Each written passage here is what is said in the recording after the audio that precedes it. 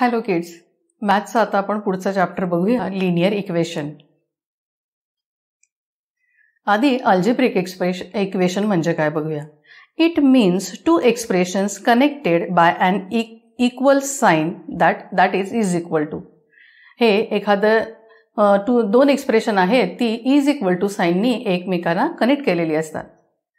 Equality of two algebraic expression is algebraic expression म्हणजे काय दोन अल्जेब्रिक एक्वे एक्सप्रेशन आहेत ती जर इक्वल असतील तर त्याला काय म्हणतात? Algebraic equation the expression on the left of the is equal to sign is called L H S and the expression on the right of the is equal to sign is called R H S म्हणजे एक्सप्रेशनच्या left साईडला is equal to sign तुम्ही काढली आहे. त्याच्या left साईडला जे असते त्याला काय म्हणतात? Left hand side L H S आणि राईटला असते त्याला काय म्हणतात? Right hand side R H S आता एक एक्झाम्पल बघूया.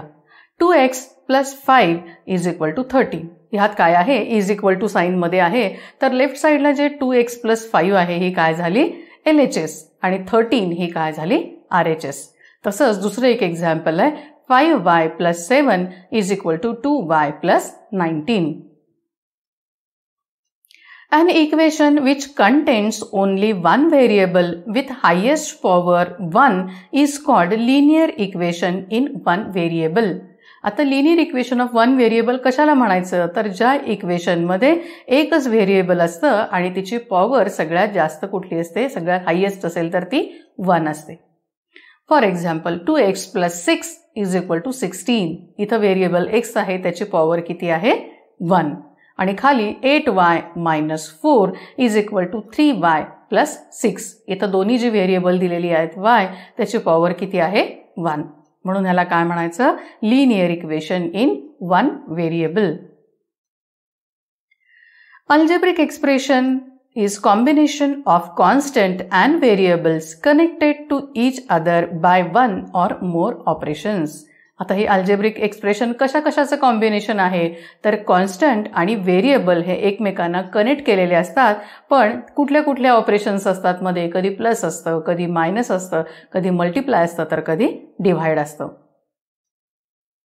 आता एक एक्झाम्पल बघूया. M square plus three n square is equal to seven हे लिनियर इक्वेशन आहे. यातली व्हेरिएबल्स कुठली आहेत? दोन आहेत एम आणि एन आणि त्याची हायेस्ट डिग्री व्हेरिएबलची किती आहे तर दोन्हीला काय आहे? स्क्वेअर आहे. त्यामुळं टू ही त्याची डिग्री आहे. मग यातली लेफ्ट हँड साईड कुठली? M square plus three three n square आणि राईट हँड साईड कुठली? सेवन आता दुसरं example four x plus three y is equal to eleven यातले व्हेरिएबल कुठले आहेत? एक्स आणि वाय हे दोन व्हेरिएबल आहेत. हायेस्ट डिग्री दोन्हीची एक्स आणि वायची किती आहे? वन लेफ्ट हँड साईड कुठली आहे? Four x plus three y आणि आर एच एस कुठली आहे? इलेवन आता तिसरे example two x plus five is equal to nine यात व्हेरिएबल किती आहेत? एकच आहे. एक्स हायेस्ट डिग्री त्याची किती आहे? वन लेफ्ट हँड साईड कुठली आहे? टू एक्स प्लस फाईव्ह आणि आर एच एस कुठली आहे? नाईन. आता बघूया solution. The value of the variable for which the L H S and R H S of an equation are equal is called the solution or the root of equation आता हे solution कशाला म्हणायचं? तर ही जी व्हेरिएबलची value आहे ती left hand side आणि right hand side ह्या दोन्हीही काय झाल्या पाहिजेत? इक्वल झाल्या पाहिजे तर त्या अँसरला काय म्हणायचं? सोल्युशन किंवा रूट ऑफ इक्वेशन आता याचे सॉल्व सॉल्व करण्याचे काही रूल्स आहेत ते कुठले बघूया. We can add the same number on both sides of equation महत्वाची गोष्ट काय? लेफ्ट हँड साईड आणि राईट हँड साईड आहे इज इक्वल टूच्या त्याच्याकडे दोन्हीकडे केले तर ॲड करायचा. इकडे ॲड केला तर नंबर इकडे ॲड करायचा. दुसरं काय? We can subtract the same number on both sides of equation म्हणजे सबट्रॅक्ट एका साईडला केले तर दुसऱ्या साईडला पण तोच नंबर सबट्रॅक्ट करायचा. आणि हे सेम मल्टिप्लिकेशन आणि डिव्हिजनच्या बाबतीत पण आहे. असं कन्सिडर करूया एक example eight x is equal to three x plus ten या एक्झाम्पलमध्ये if we substitute x is equal to two we get समजा एक्सची व्हॅल्यू आपण इथे दोन आहे असं जर समजलं तर लेफ्ट हँड साईड आणि राईट हँड साईडला काय होतंय बघूया. मग मी काय केलं? मल्टिप्लाय केलं. Eight multiply two eight x एक्सची value घातली दोन म्हणजे एट मल्टिप्लाय टू ते झाले सिक्स्टीन राईट हँड साईडला काय झालं? थ्री एक्स म्हणजे three multiply two plus ten केले. मग माझं आन्सर आलं सिक्स्टीन याचा अर्थ काय? लेफ्ट हँड साईड आणि राईट हँड साईड ही माझी काय झाली? इक्वल झाली. So two is the solution of the equation म्हणजे या ठिकाणी काय झालं? या इक्वेशनचं सोल्युशन काय झालं? आन्सर आलं two solving linear equations with variables on one side there are two methods for solving equation जेव्हा हे लिनियर इक्वेशन सॉल्व करत असतो आणि एकाच बाजूला हे व्हेरिएबल येतं तेव्हा त्याच्यात दोन मेथड्स आहेत. पहिली by performing same mathematical operation on both side of the equation या ह्या पहिल्या टाईपमध्ये काय करायचं? तर जी गोष्ट लेफ्ट साईडला करतो तीच राईट साईडला मग अशी आपण बघितलं इकडे ॲडिशन केली तर इकडे ॲडिशन सबट्रॅक्शन असेल तर दोन्ही साईडला मल्टिप्लिकेशन असेल तर दोन्ही साईडला आणि डिव्हाइड असेल तर दोन्ही साईडला ही एक मेथड आहे. आणि दुसरी मेथड आहे ट्रान्सपोजिशन मेथड आता same operation on both side असेल तर एक एक्झाम्पल बघूया. Seven x plus two is equal to negative nineteen इथं मी काय केलं? Subtract two from both sides दोन्ही बाजूला काय केलं? मी टूनी सबट्रॅक्ट केलं. खाली आन्सर आलं माझं seven x plus two minus two is equal to negative nineteen minus two आणि मग हे निगेटिव्ह टू आणि पॉझिटिव्ह टू गेले आणि seven x is equal to negative twenty seven आता या व्हेरिएबलला सेवन हा काय आहे? कोएफिशियंट आहे. मग दोन्ही साईडला मी काय केलं? सेवननी डिव्हाइड केलं. म्हणजे seven x upon seven is equal to negative twenty one upon seven. आणि माझं उत्तर आलं x is equal to negative three. म्हणजे या इक्वेशनचं सोल्युशन काय आहे? X is equal to negative three. आता व्हेरीफाय करून बघूया आपलं उत्तर बरोबर आहे का? Substitute x is equal to negative three in the L H S seven x plus two ह्याच्यात आपण काय केलं? Seven multiply negative three plus two म्हणजे negative twenty one plus two is equal to negative nineteen म्हणजे R H S माझी किती आली? Negative nineteen म्हणजे मी केलेलं उत्तर काय आहे? काढलेलं बरोबर आहे. L H S is equal to R H S त्यामुळं verify this verifies that x is equal to negative three is the solution of given equation म्हणजे जे तुम्ही उत्तर घालाल ते परत इक्वेशनमध्ये टाली करून बघायचं की आपण केलेलं हे बरोबर आहे ना? दुसरं example x upon three plus five upon two is equal to negative three upon two या एक्झाम्पलमध्ये मी काय केलं? Subtract five upon two from both sides आता दोन्हीकडनं फाईव्ह अपॉन टू मी काय केले? हे सबट्रॅक्ट केले. मग माझं उत्तर काय आलं? X upon three is equal to negative eight upon two आणि ह्याचं उत्तर आलं निगेटिव्ह फोर मग इथं x upon three multiply three is equal to negative four multiply three मग याचं माझं उत्तर काय होतं? X upon three is equal to negative four मग दोन्हीकडं मी काय केलं? थ्रीनी मल्टिप्लाय केलं. म्हणून माझं उत्तर आलं x is equal to negative twelve therefore x is equal to negative twelve is the solution of given equation म्हणजे ए निगेटिव्ह ट्वेल्व हे काय झालं? दिलेल्या इक्वेशनचं उत्तर झालं. आता दुसरी method transpose method the process of shifting a term from one side to the other by changing it sign is called transposition आता एखादी टर्म दुसऱ्या साईडला आपल्याला चेंज कर चेंज करून न्यायची असेल तर त्याला प्रोसेसला काय म्हणतात? ट्रान्सपोजिशन म्हणजे काय करायचं? एक टर्म एका लेफ्ट साईडकडनं ती राईट साईडला किंवा राईट साईडकडनं लेफ्ट साईडला शिफ्ट करायची. The term is shifted or transposed to the other side of equation its operation changes to inverse operation जेव्हा एखादी टर्म आपण शिफ्ट करतो किंवा ट्रान्सपोज करतो तेव्हा त्याचं ऑपरेशन हे काय होतं? इनवर्स होतं. म्हणजे पॉझिटिव्ह असेल तर निगेटिव्ह होतं निगेटिव्ह असेल तर पॉझिटिव्ह होतं. The positive term becomes negative and vice versa म्हणजे पॉझिटिव्ह असेल तर निगेटिव्ह निगेटिव्ह असेल तर positive transposing a number is equivalent to adding or subtracting the same number on both sides and hence the equation remains balanced आता हे transpose करत असताना तो नंबर काय करायचा? ॲड किंवा सबट्रॅक्ट हा काय करायचा? बोथ साईडला करायचा. त्यामुळं ते इक्वेशन काय राहतं? बॅलन्स्ड राहतं. एक उदाहरण बघूया. X minus one upon two is equal to one upon five x is equal to one upon five plus one upon two म्हणजे लेफ्ट साईडला असताना हे निगेटिव्ह वन अपॉन टू होते ते मी राईट साईडला घेताना काय केले? पॉझिटिव्ह वन अपॉन टू याला काय म्हणतात transposition of one upon two two R H S right साईडला मी ते घेतले आणि मग माझं उत्तर आलं x is equal to seven upon ten मग हे हे करत असताना मी आधी एल सी एम काढला कारण दोन्हीही डिनॉमिनेटर काय आहे? वेगळे आहेत.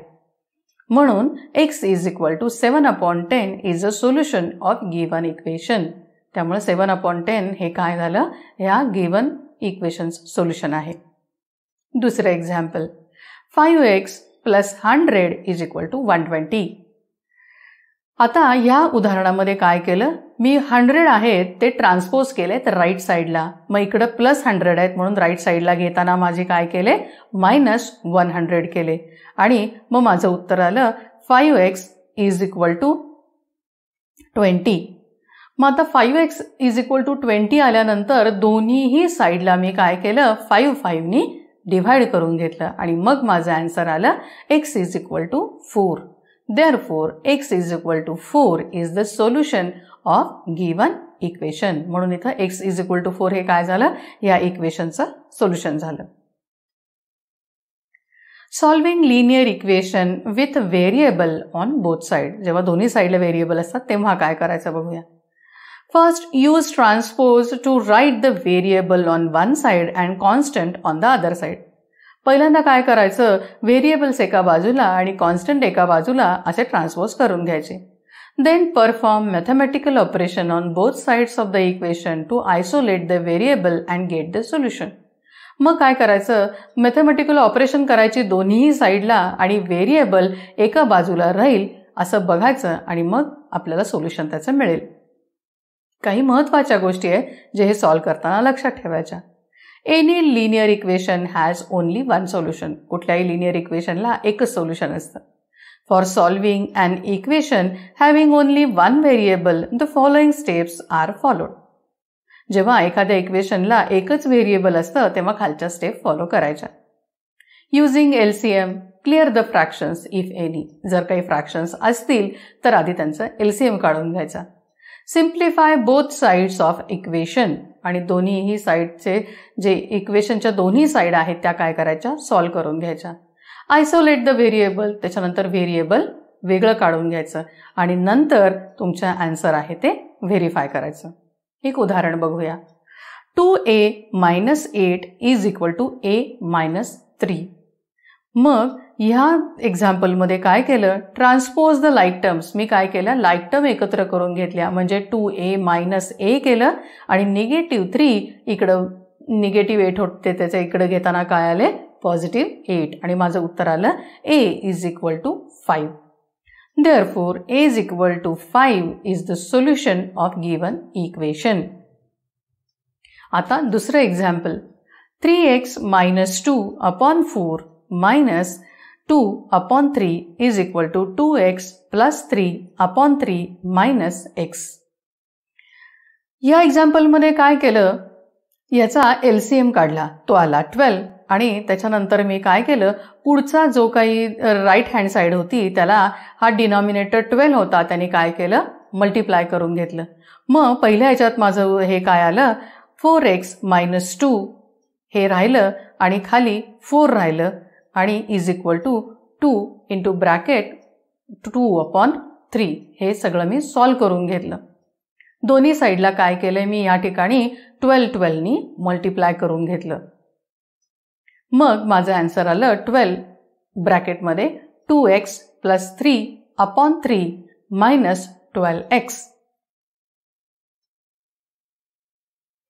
मग त्याचं उत्तर मी काढलं three multiply ब्रॅकेटमध्ये three x minus two bracket close minus eight is equal to four multiply bracket two x plus three bracket close minus twelve x मग ही ब्रॅकेट मी सोडवून घेतली. थ्री थ्री जा नाईन एक्स आणि थ्री टू जा six म्हणजे nine x minus six minus eight ही झाली माझी लेफ्ट हँड साईड आणि राईट हँड साईडला इथं पण मी ब्रॅकेट सॉल्व्ह करून घेतली आणि आन्सर आलं eight x plus twelve minus twelve x मग मी काय केल्या? लाईक टर्म्स ट्रान्सपोज करून घेतल्या. एक्सवाले आहेत ते सगळे लेफ्ट साईडला घेतले. कॉन्स्टंट होते ते सगळे राईट साईडला घेतले.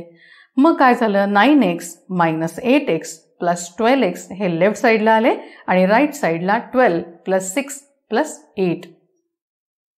आणि उत्तर आलं मग thirteen x is equal to twenty six मग थर्टीन एक्सला एक्सला एकट्याला ठेवायला दोन्ही साईडला मी थर्टीननी डिव्हाइड करून घेतलं. आणि मग माझं आन्सर आलं x is equal to two therefore x is equal to two is the solution of given equation आता अजून एक example six y plus one upon three plus one is equal to y minus three upon six आता इथं upon six आहे तर दोन्हीही बाजूला मी काय घेतलं? सिक्सनी मल्टिप्लाय करून घेतलं. Six multiply six y plus one upon three plus six multiply one is equal to y minus three आता इथं काय झालं? सिक्स सिक्स आहे ते दोन्हीही एकमेकांना गेले. त्यामुळे तिथं राहायला वन मग आन्सर काय आलं? Two multiply ब्रॅकेटमध्ये six y plus one bracket close plus six is equal to y minus three मग परत मी ब्रॅकेट सोडवली. अँसर आलं twelve y plus two plus six is equal to y minus three पग पुढं हे सॉल्व करून घेतलं.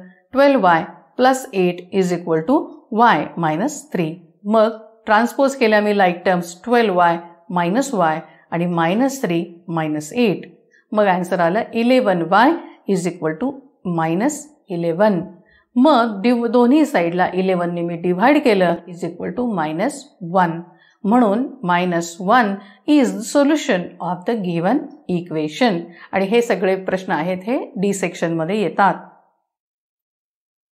आता इथं आपला हा चॅप्टर संपतो. लिनियर इक्वेशन काय काय बघितलं आपण? लिनियर इक्वेशन म्हणजे काय? Linear equation in one variable बघितलं. मग त्याचं सोल्युशन कसं काय क कसं काढायचं? आणि ते linear equation in one variable solve कसे करायचे? So here ends the chapter linear equation हा व्हिडिओ पुन्हा एकदा बघा. ह्याच्या पी पी टी आहे त्याच्यानंतर वर्कशीट आहे क्विज आहे. हे आपल्या ॲप आणि वेब पोर्टलवर आहेच. So here ends the chapter linear equation Thank you.